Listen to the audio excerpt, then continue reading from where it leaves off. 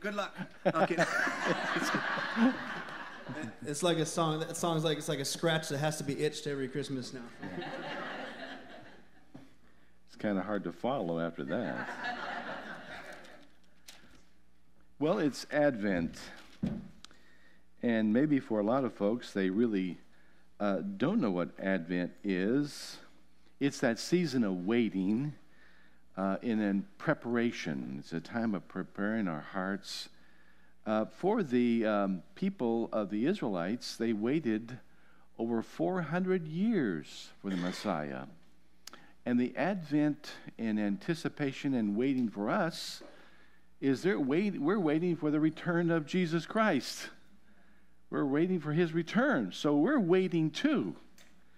And talking about waiting, we've been waiting uh, for quite a few months for this wonderful news that James Baird, or Jamie, uh, is coming to be the pastor uh, and uh, your congregational vote. When the pastor nominating committee said we have a special emergency meeting of the session, and I think the staff kind of panicked because they thought, emergency, what does this mean? Uh, maybe it's not good news, bad news. And so I said to the staff, this is normal. This is called a special meeting of the session when the pastor nominating committee comes and they are presenting their final candidate and wanting to have your approval for the first step and also the terms of the call so they can then be called a congregational meeting so you can vote to decide. I don't think they believe me, you know. They, they thought, or, or. Um, but uh, during this time of waiting, uh, it's been, uh, been hard, I think, for a lot of folks. I, it, uh, you know, you, you, you anticipate, you, you can't, can't you move quicker? Um, you know, and maybe you've said that to members of the pastor nominating committee. Uh, but I think what it is, is it is there really uh, searching for that person that God has chosen, the one that God has chosen to be the next uh, senior pastor here. And that's hard to be waiting. I think uh, it's, uh, it's hard to be patient, isn't it? I mean, patient is really not one of our virtues, I think. Most Americans, we, we struggle with that. Uh, but I want to thank you for the way that you uh, have, uh, through these, these months, faithfully attended, participated in the life of the church, have uh, supported the church financially and with your, your, your effort and all that you've done.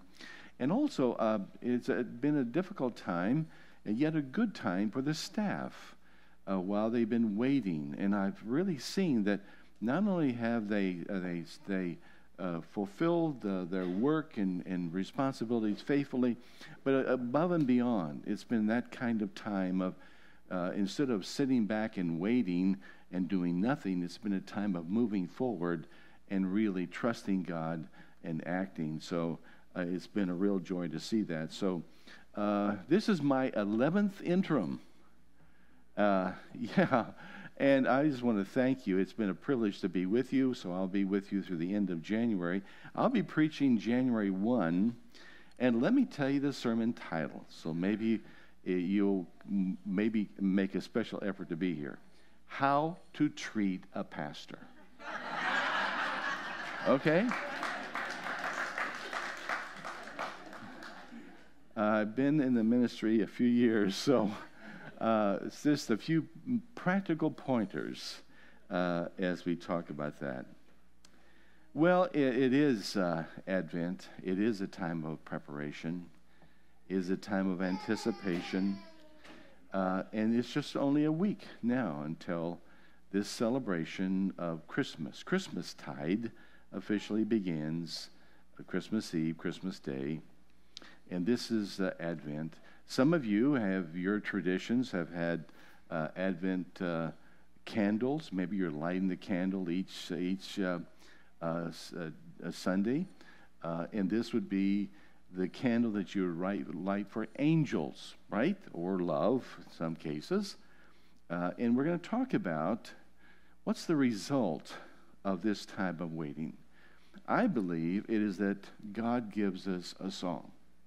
Because uh, you know your own story that during times when you wait and you're anticipating, it's really difficult to be patient. It's difficult to wait. I don't think we, we, we wait well, and it's hard to wait. It's hard to trust. But in the midst of that, God gives us a song. And that's what we're talking about tonight, today. Let's pray.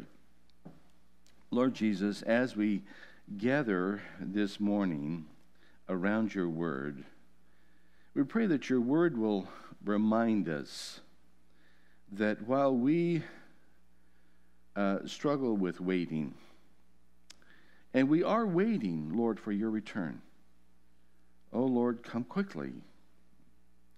And while we wait, we ask that you would help us, that we would have a song in the midst of the waiting and even in the midst of the darkness and the unknown. Because what we trust in is that you have come, Emmanuel, to be with us, and you have given us your peace, your deep, abiding peace that transcends all of these things. And Jesus, you said you would never leave us nor forsake us, that you would give us your peace, not as the world gives, but a, a, a, real peace, not just feelings that come and go, but you would give us your peace. We ask for that song in Jesus' name. Amen. Well, Matthew and Mark are really the two gospels that tell us the uh, uh, story of the incarnation, the coming of the Christ child. But Luke doesn't begin with that uh, uh story right away. He begins with the story, uh, the uh, story of Zechariah, Zechariah and Elizabeth. Remember, Elizabeth is the relative of Mary who is to have the Christ child. And, uh, and as we see later on, Mary will come to be with Elizabeth. But Zechariah was a priest in the temple. He was one of the major priests. He was an elderly man, an older man, and so was Elizabeth. And they were uh, quite um, noted for their, their faithfulness, their, their diligence, their walk with God. Um, and uh, Zechariah, as we uh, open up Luke chapter 1, Zechariah has been chosen to offer incense. This now every every uh, day there is incense burned in the morning and in the evening. But once a year there's this special offering of incense of acknowledgement and celebration of the people of Israel following Yahweh, following God. And so uh, it is uh, his duty uh, to go into the Holy of Holies and to offer this incense. And the people outside are waiting. I mean, there's the crowds of people are in anticipation waiting outside for him to exit, having been inside the Holy of Holies. Maybe some of you have studied this, but whenever the chief priest or the priest enters into the Holy of Holies, the place where the ark is, and the place where it is to symbolize God's presence, the priest, along their garment, are sewn bells so they can hear if the priest is still alive. He has not been struck dead. Uh, and, and not only that, they tie a rope around one of his legs so that if he Uh, offends the, the, in the Holy of Holies does the wrong thing and is struck dead, at least they can pull him out. I mean, that's how serious it is. And I think sometimes, because they, they recognize this was worship of, of the living God, this is, this is the God of all creation. And, and this, they were in awe of this. I think sometimes we enter into worship too glibly, too uh, facetiously, too, too, too lightly. We're, we're talking about, when we gather in worship, we're talking about worshiping the living God. We're talking about worshiping the God of all creation. I mean, when you stand on the mountainside or hillside and you look at the behold the stars, I mean, this is the God of all creation.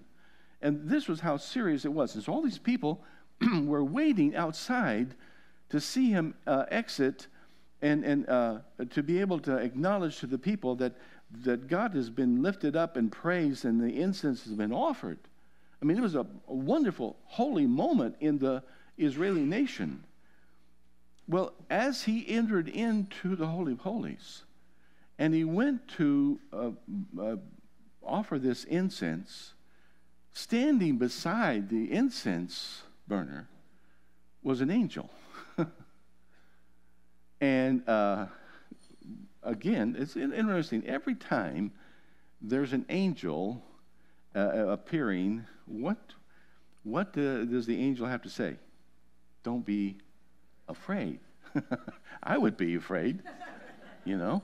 And so uh, he, uh, the angel then tells him, that he's there. This is Gabriel. Now, this is, this is one of the highest of the angel order, and he has just come from God. And he has this message to give to, Gabriel, to, to Zechariah. Zechariah, he says, You're going to have a son, and uh, you're going to name him John. And, and Zechariah, I'm sure, is thinking, uh, I'm an old guy. And Elizabeth, my wife, is also old. I mean, I can imagine an angel coming to me and telling that Suzanne's got married. but, but he was nonplussed. I mean, it was like hard to believe. And uh, so the angel says, All right, because you don't believe what I've told you, the, this is the word of the Lord. Because you don't accept the word of the Lord, you're not going to be able to speak through the entire time of her pregnancy until John is born. okay. and so he, he, was mute. He could, could not speak. So he went outside when he exited the temple, the Holy of Holies. The people were waiting for some announcement, some, some, some declaration that he could give, and he can't speak. And so the people think, well, what has happened to Zechariah? I mean, he's, he can't talk. Uh, and um, uh, then, uh, so he, he leaves his duties. He goes back. And it says he's finished his uh, priestly responsibilities. He goes back home. And then the next thing we read that it is in the sixth month. Uh, so six months have gone by. So um, Elizabeth is pregnant. Okay? But then it says in the sixth month, something occurs in this little village called Nazareth. Another angel comes to this dumpy little village. I, I thought about uh, calling this sermon Two Jewish Kids in a Dumpy Little Village. you know.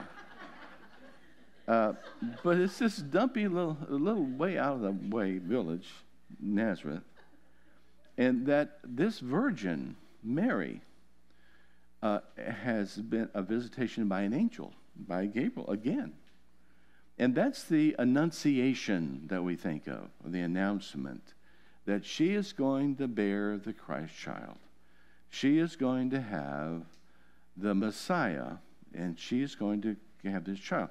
And of course, quite naturally, she has questions too. How can she as a virgin. She's never known a man, she's never had sexual intercourse. She's a faithful uh, follower of, of the, the Jewish religion. She understands about chastity, and, and she's betrothed to Joseph. She understands that. And so she asks the question, How can she? And so the angel tells her how that the Holy Spirit will come and that it will be, in fact, the Messiah who is the one, the anointed one. And then what happens is that Mary, it says Mary arose. I love uh, here in Luke, he always says now, now this, now. Because it's very factual. You ever notice in Scripture the detail that's there? I mean, it's just marvelous. It, it, like, for example, when it said about the angel appearing to Zechariah, it was said on the right side of the incense burner. Why, why that detail? I mean, all the detail.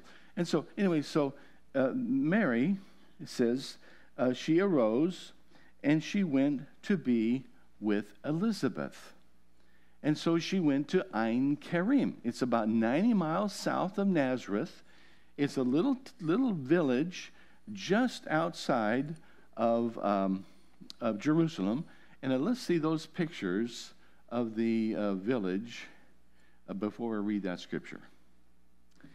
Uh, if, if, you're, if you're driving, and we, we used to live there in Jerusalem, and it was about a 30 minute drive uh, into the hills of Judea. This, this, the scripture says the hills of Judea, but it's Ein Karim, and this is that little village, hillside. Um, and there's a church that is um, celebrating Mary's visit to Elizabeth. And there's a, there's, a, there's a spring there that she's supposed to have drunk from. And also, uh, what happens is then Mary, when she receives this news, she sings a song. That song is called the Magnificat.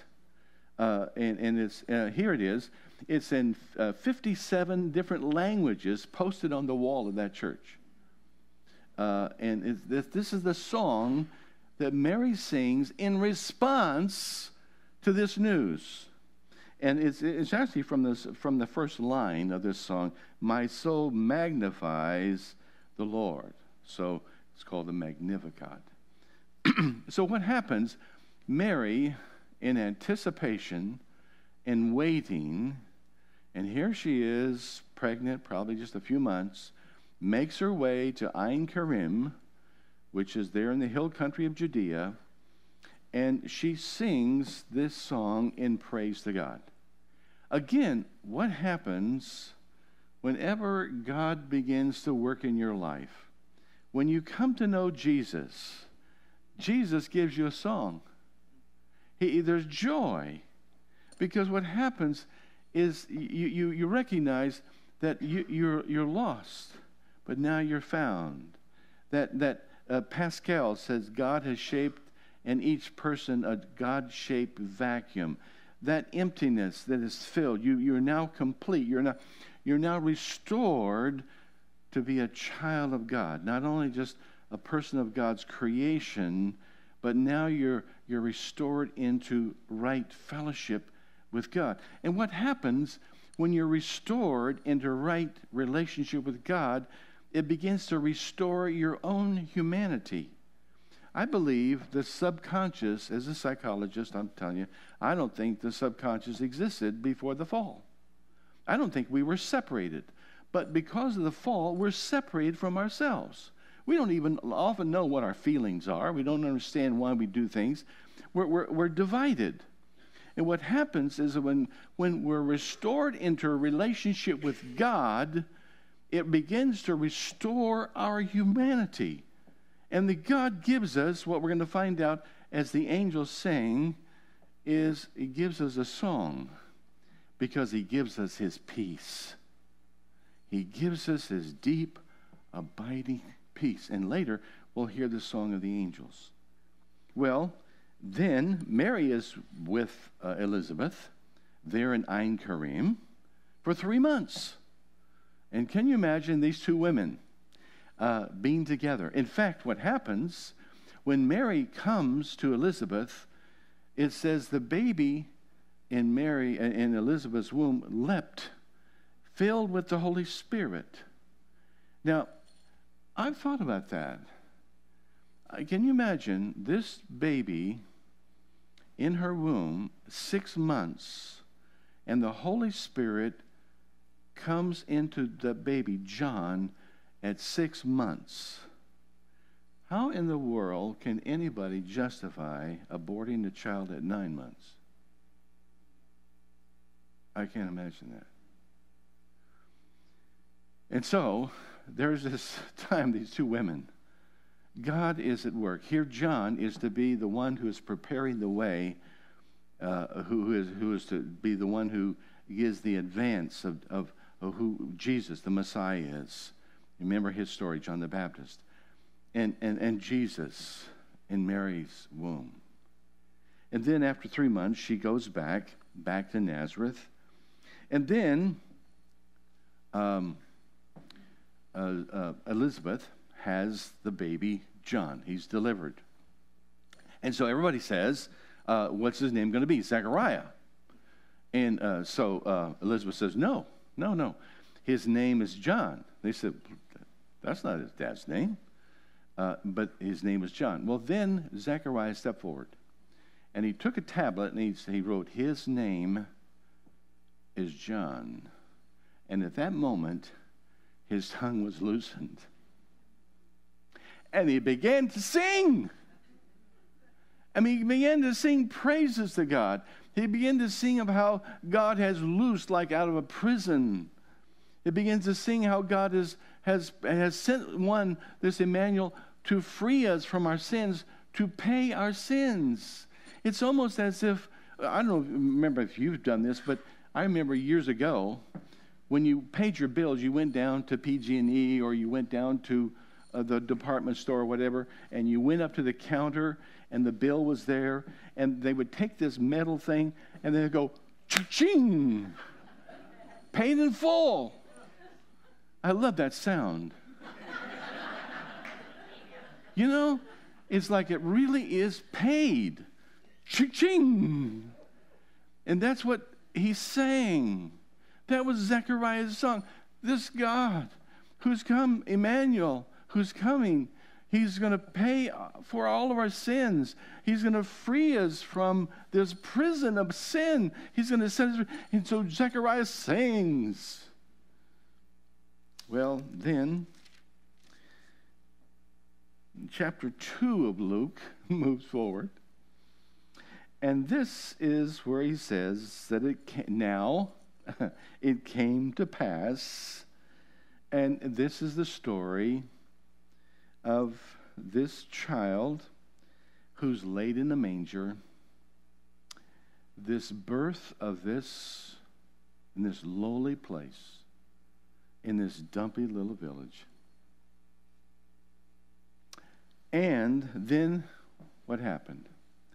There were in the same country shepherds living out in the fields, keeping watch over their flocks by night.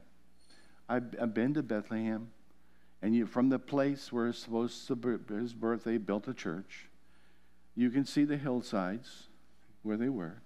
And behold, an angel of the Lord stood before them, and the glory of the Lord shone around them, and they were greatly afraid. Then the angel said to them, Do not be afraid. Yes.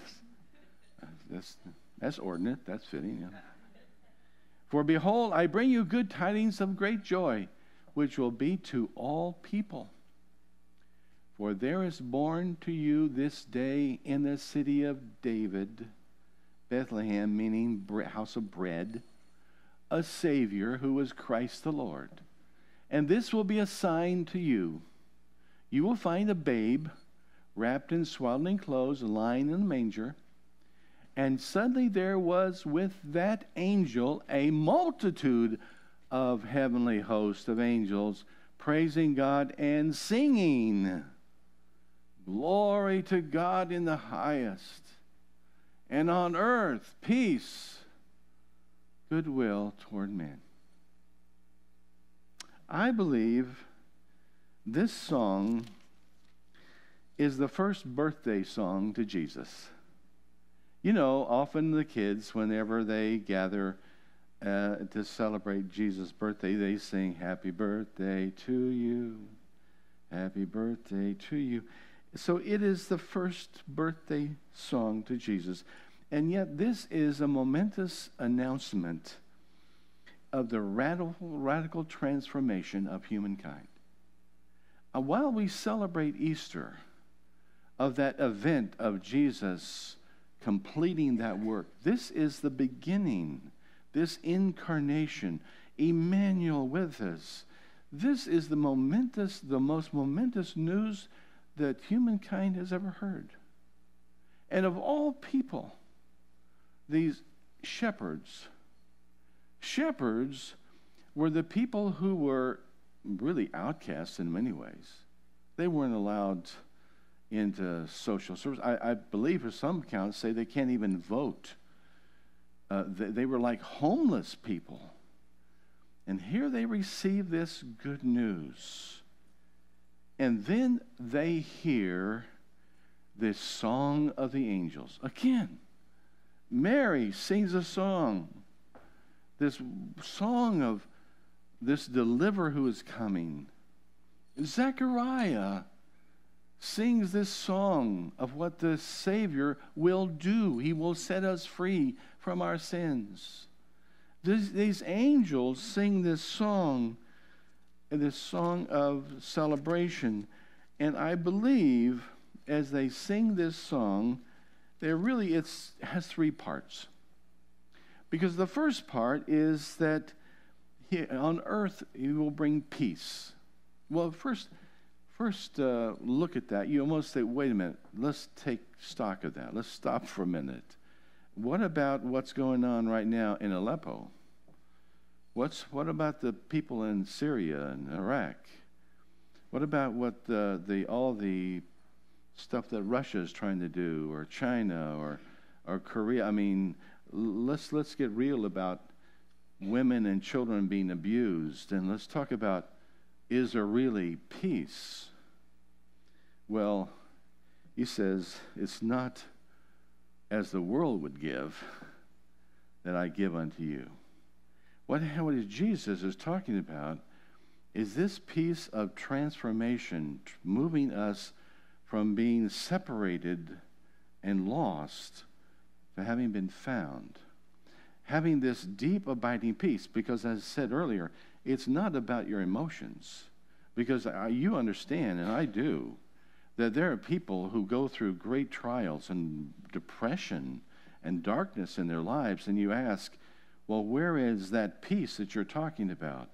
I believe what it is is that God gives you a settledness in spite of all life's difficult circumstances, all of life's changing circumstances. And it's always changing. It's never static, it never stays the same. And also, we're, we're very fearful. There's so much fear in us. What God does is God replaces that fear with that sense of security that you are in Christ. You are in Christ. God has completed that work. While your emotions may come and go, while you may not know all, all this, what, what understand it, and often, as I said, during these periods of waiting and darkness, it's hard to be patient. We don't understand. But what we come back to is we come back to this. This is what I know. I'm a child of God. Jesus Christ has completed the work. Cha-ching, it's done. I'm a child of God.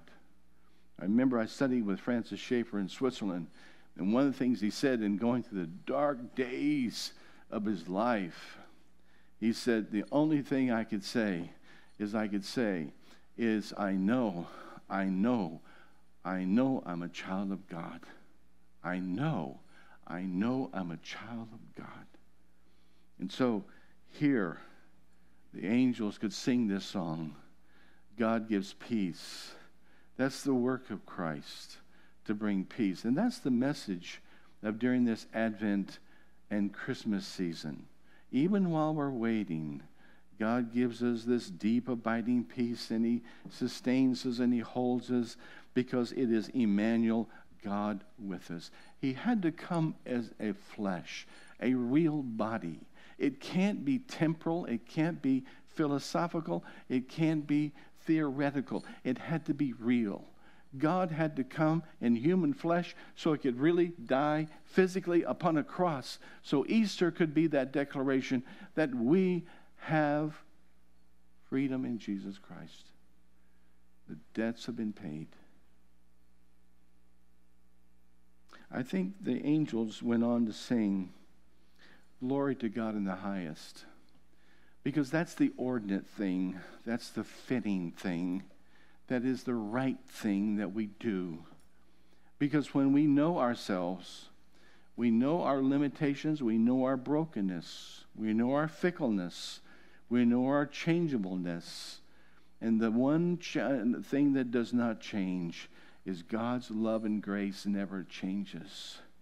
You always know that you are secure and bound up in the bundle of the living. You are part of what God is doing. And the Christmas message that comes to us is God Emmanuel is with us, He is for us. Maybe you've never really put your trust in Jesus. If you have not, may this Advent Christmas season be the day that you simply raise empty hands of faith because it's not anything we do. It's not because we are worthy. It's not because of something we do to make ourselves spiritual. It is simply that gift of God's grace and God's peace that He comes and He gives us a song.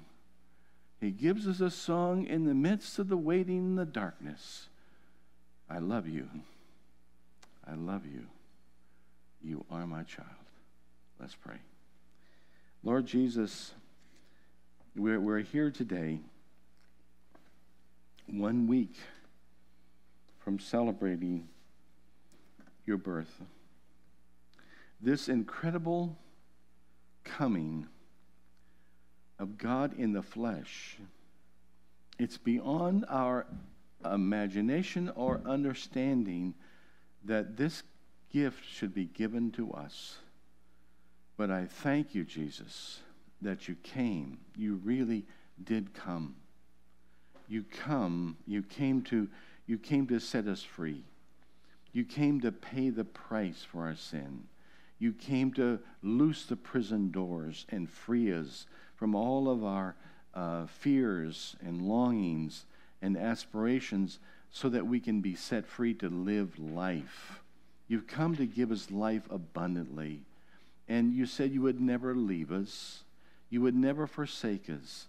That the peace you give is not as the world gives, but the peace you give is transformative. It is that changes our story. We can live life with abundant joy because we have been found. We who are lost have been found and set free. Thank you for this gift. We thank you in Jesus' name. Amen.